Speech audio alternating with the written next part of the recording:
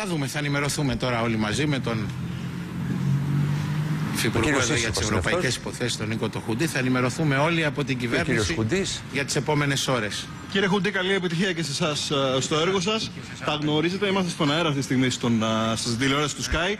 Πείτε μας τις πρώτες προτεραιότητες μας. Λογικά θα πρέπει να έχετε μια επαφή και με τους υπόλοιπους Ευρωπαίους η, η ηγέτες. υλοποίηση του προγράμματος ε, της Θεσσαλονίκης και η επαφή με τους ε, εταίρους μας της Ευρώπης. Άλλωστε, ο κύριος Ντάιζερμπλουμ έρχεται μεθαύριο, ο κύριος Σούτς κύριος- ήταν α. από εδώ το λέω. Ναι. Ναι. Και εκεί που λέγαμε δεν έρχεται η Τρόικα που δεν θέλουμε να έρθει, Ναι. έρχονται οι διαπραγματευτές εδώ.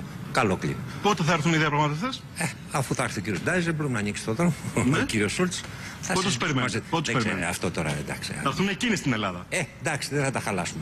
Το θέμα είναι δεν συζητάμε με την Τρόικα, συζητάμε με τους Ευρωπαίους θεσμούς, ευρωπαϊκούς θεσμούς για να διαπραγματευτούμε. Καλή συνέχεια, να είστε καλά. Σα ευχαριστούμε πάρα πολύ. Ε, είναι βαρύ το πρόγραμμα ενός υφυπουργού αρμόδιο για θέματα αθλητισμού.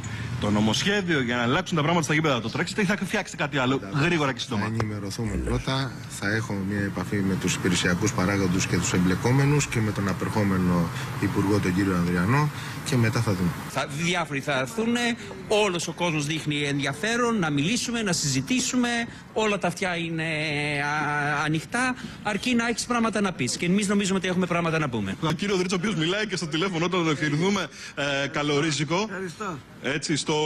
Ε, στα- μάλλον αύριο το πρωί. Μα- μάλλον μάλλον για την παράδοση παραλαβή. Μάλλον. Έτσι τώρα θα Πες ενημερωθούμε του σε να λίγο. συντομεύσει να μας κάνει δήλωση.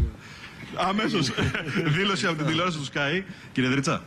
Λοιπόν, Θανάση μου να είσαι καλά. Λοιπόν, σε ε, ευχαριστούμε και τον κύριο Θανάση. Κύριε Δρίτσα, ε, πριν από λίγο ήρθε εδώ ο προσβευτής ε, της Κόσκο, της, ε, της Κίνας και μίλησε με τον κύριο Τσίπρα για την Κόσκο. Τι θα κάνετε εκεί; Ε, αυτά θα τα πούμε στις ε, προγραμματικές δηλώσεις. Πάντα αυτό που λέμε είναι ότι όλες οι επενδύσεις είναι καλοδεχούμενες. Χρειάζεται να έχουν κοινωνικό όφελος για όλη την ελληνική κοινωνία. Άρα λοιπόν, Με την Κίνα και με τον Κινέζικο λαό έχουμε σχέσεις εκτίμησης, αλληλεγγύης και φιλίας.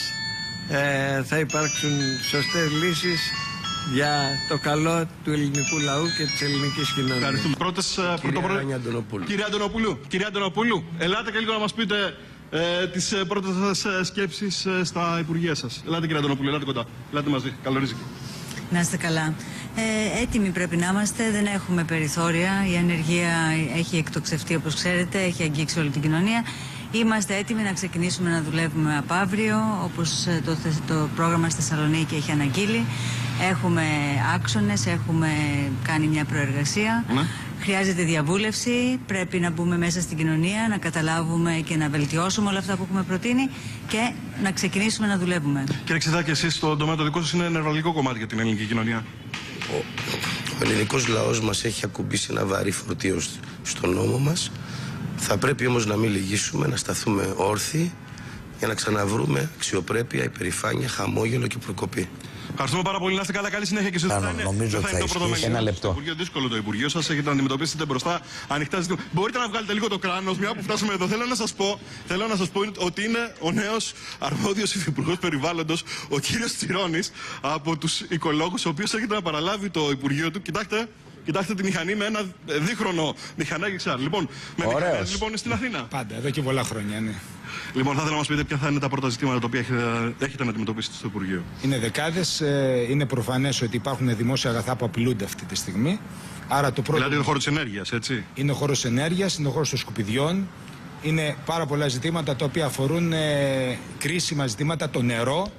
Ε, μην τα παριθμίσω τώρα, όλα είναι πρώτη στιγμή. Στον χώρο της ενέργειας θα ακυρώσετε τους διαγωνισμούς που τρέχουν για την ε, ΔΕΗ και τον ε, διαχειριστή; Είναι προϊόν στο νομοσχέδιο για τη, για τη ΔΕΗ ήταν απαράδεκτο από την πρώτη στιγμή. Είναι και δέσμευση. Νομίζω ότι αυτό το νομοσχέδιο δεν μπορεί να ισχύσει. Γιατί υπάρχουν πόροι όπως είναι τα νερά που απειλούνται και η γη. Η ΔΕΗ είναι μια τεράστια περιουσία του ελληνικού λαού και δεν έχει κανένας δικαίωμα να την εκποιεί με αυτόν τον τρόπο. Και όσον αφορά του χώρους υγειονομικής ταφή στην Αττική και στην υπόλοιπη χώρα, πληρώνουμε πρόστιμα από αύριο. Είναι φανερό ότι εμείς είμαστε υπέρ της διαλογή στην πηγή. Υπάρχουν πάρα πολλοί φτηνοί τρόποι. Τα σκουπίδια είναι η περιουσία. Ναι, μας. προλαβαίνουμε όμως. Φυσικά και προλαβαίνουμε να γίνουν όλα γρήγορα, αρκεί να καταλάβουν οι πολίτες ότι το κάθε πράγμα που κρατάνε στα χέρια τους, το κάθε σκουπίδι είναι δικό τους περιουσιακό στοιχείο και όχι των εργολάβων. Ευχαριστούμε πολύ. Να είστε καλά, φορέ το κράνο σας και καλό δρόμο μέχρι το Μέγαρο. Να είστε καλά. Γεια σας. Αναπληρωτής λοιπόν Υπουργός κύριος Περιβάλλοντος, Ενέργειας και Κλιματικής Αλλαγής, ο Γιάννης Τσιρόνη, προέρχεται από τους οικολόγους Πράσινους, ο οποίος έφτασε α, στο Προεδρικό Μέγαρο με μηχανή και πλήρη εξάρτηση. Βλέπουμε και με το κράνος του, όπως πρέπει να το φοράμε όταν κυκλοφορούμε με τη μηχανή. και σε σχέση με τον κύριο Δρίτσα, αυτά που είπε ο κύριος Τσιρόνης, βλέπει κανείς και τις ε, διαφορετικές προσεγγίσεις στα ζητήματα. Δηλαδή, ο, ο κύριος Δρίτσας Και από εκεί Όσες έχει... πιέσεις και αν ασκηθούν. Υπουργός Υγείας, Το ζήτημα της υγείας έχει να κάνει με, τα, με τους ανασφάλιστους. Μιλάμε για 3 εκατομμύρια ανθρώπων ανα- ανασφάλιστων από ιατροφαρμακευτικά. Άρα εκεί το πρώτος βάρος; Ο πρώτος βάρος θα είναι εκεί. Και βεβαίως μετά υπάρχουν τα ζητήματα που έχουν να κάνουν με τις προμήθειες, πολύ ανοιχτά ζητήματα που έχουν να κάνουν με τη διαχείριση των ταμείων. Είναι όλα αυτά που πρέπει να μπουν στο τραπέζι παράλληλα και να αντιμετωπιστούν με πρακτικό και αποτελεσματικό τρόπο. Υγεία που θα εξασφαλίζει ισότητα χωρίς διακρίσεις, ποιότητα και αποτελεσματικότητα. Ευχαριστώ πολύ. Καλή συνέχεια. Να είστε καλά.